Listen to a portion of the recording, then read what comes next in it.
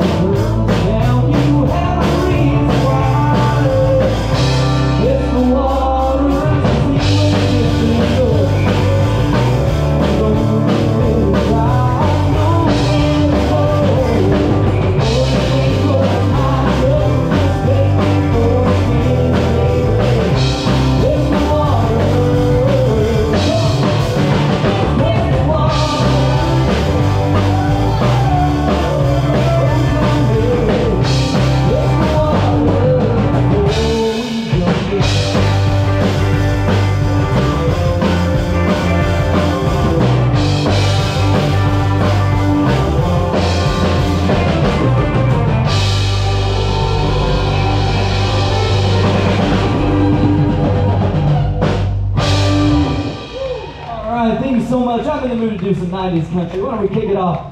Go ahead, Luke, with that guitar. One, two, three.